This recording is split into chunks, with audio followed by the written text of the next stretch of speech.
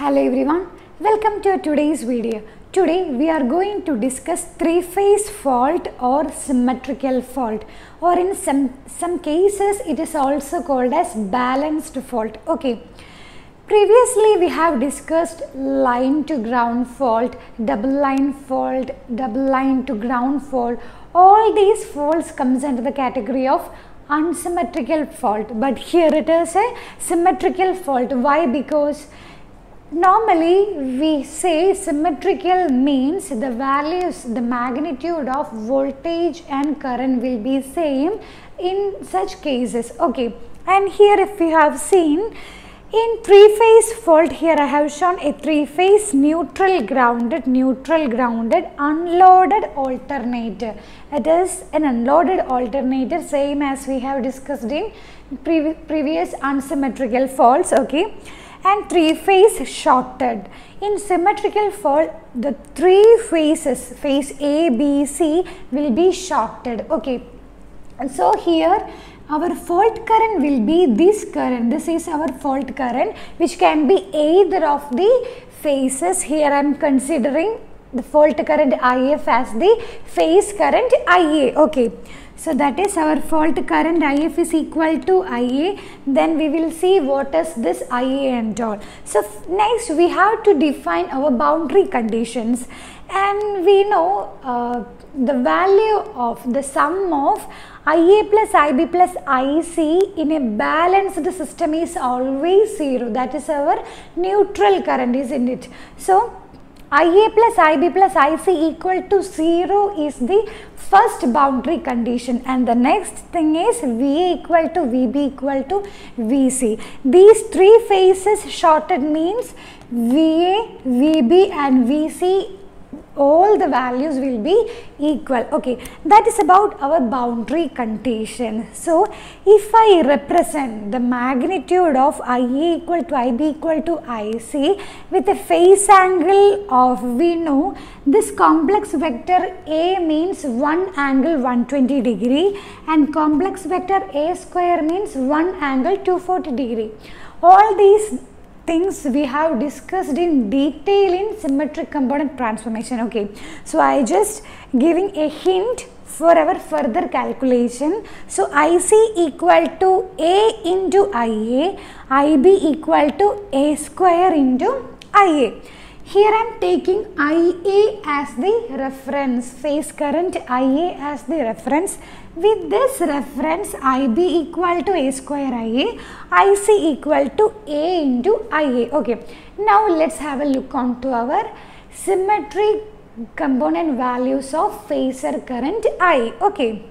First, let's define positive sequence component of current IA1. IA1 equal to with the formula 1 by 3 times of IA plus AIB plus A square IC and now we know what is IB and IC in terms of IA that is a square IA means IB, AIA means IC. If we substitute these values of IB and IC, we would get 1 by 3 times of IA plus A cube IA plus A cube IA. And what is the value of this A cube?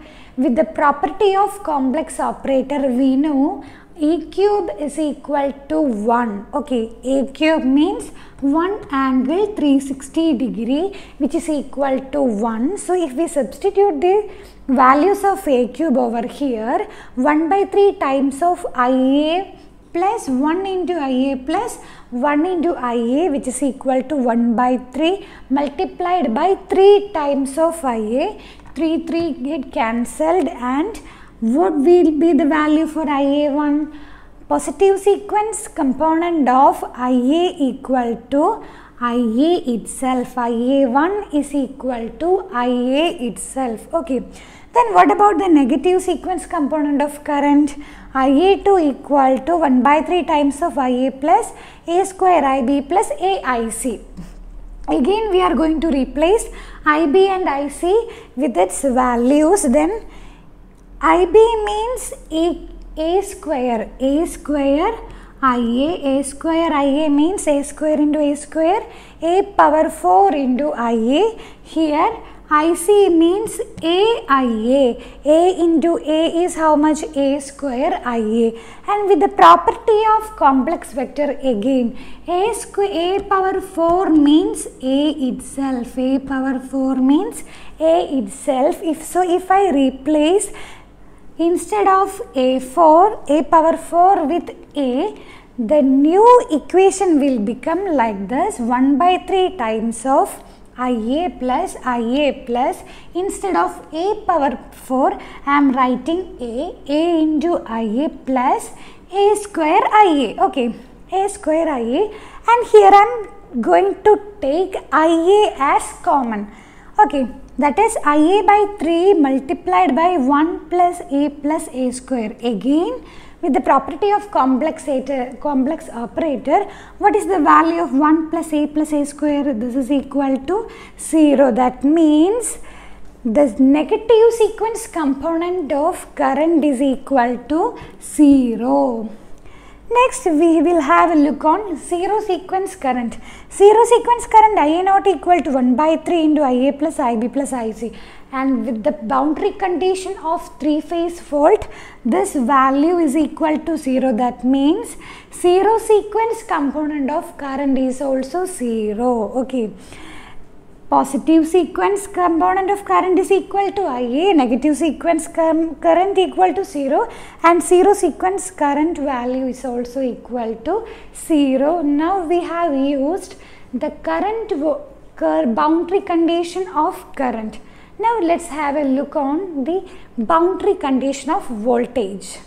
In case of voltage, positive sequence voltage, positive sequence voltage VA1 equal to 1 by 3 times of VA plus AVB plus A square VC and we know VA equal to VB equal to VC from this boundary condition, right? VA equal to VB equal to VC. So if we substitute instead of VB and VC with VA and VA again and taking V as common the inside of the bracket we have 1 plus 1 plus a plus a square 1 plus a plus a square. And what is the value of this which is equal to 0 means positive sequence component of voltage is equal to 0 okay and what about negative sequence component of voltage which is equal to 1 by 3 times of VA plus A square VB plus A VC. Again I am replacing VB and VC with VA. Okay. That is again 1 by 3 plus VA plus A square VA plus A VA. I am taking VA as common. VA by 3 into 1 plus a square plus a which is equal to 0 because this value becomes again 0 by the property of complex operator right? And va1 equal to 0 va2 equal to 0 and what about zero sequence component of voltage Va naught is equal to again 0. We know the current is balanced. The current is balanced means voltage is also balanced. What is the formula for Va naught? Va naught equal to 1 by 3 times of Va plus Vb plus Vc. Ia plus Ib plus Ic equal to 0 means current is balanced. So, voltage is also balanced means VA plus VB plus VC is equal to 0. That means 0 sequence component of voltage is also equal to 0.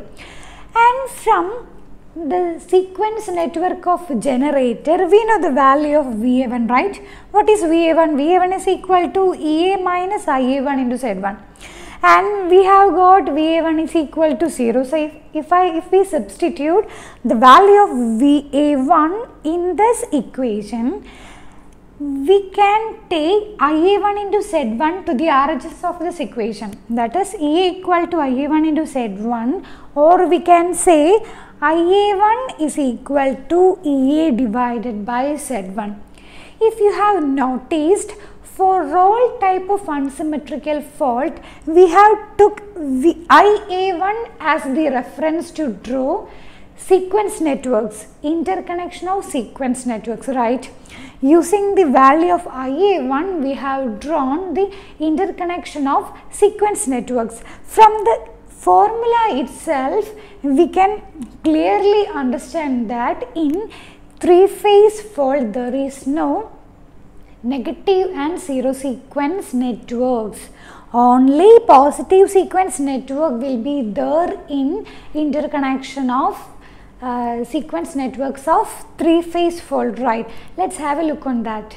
If we draw the interconnection of sequence networks for three phase fault this is the network. Here we can see only positive sequence network. There is no zero sequence and negative sequence network in case of three phase fault. So, from this equation we know what is IA1. IA1 is equal to EA divided by Z1 and what is the formula to find out the fault current?